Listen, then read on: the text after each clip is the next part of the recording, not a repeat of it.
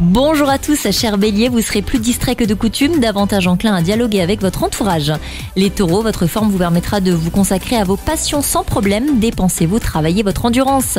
Gémeaux, ne vous imaginez pas que votre vie sentimentale se complique, simplement parce que tout n'est pas rose tous les jours. Les cancers, si la journée débute par quelques ratés, ne vous remettez pas en question. Pour autant, les lions, évitez de suivre vos intuitions fulgurantes, ce n'est pas le meilleur moment pour vous laisser guider par vos ressentis. Vierge, vous vous posez euh, trop de questions, cela perturbe une approche objective des situations que vous vivez au quotidien. Quant à vous les balances, tout se passerait bien à partir du moment où vous serez à l'écoute de votre moitié et réciproquement. Les scorpions, une rencontre marquante vient changer tout à coup le cours de votre quotidien.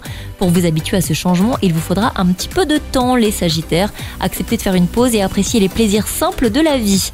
Les capricornes, vous avez euh, les bâtons dans les roues et cela pourrait durer jusqu'à ce soir. Voyez le bon côté des choses, cela ne peut que s'améliorer.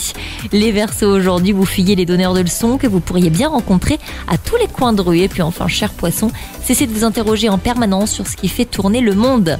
Je vous souhaite à tous une très belle journée. Prenez soin de vous.